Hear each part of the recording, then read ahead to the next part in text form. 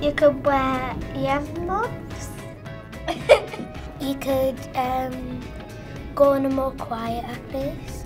You could find the source of what's making noise and maybe turn.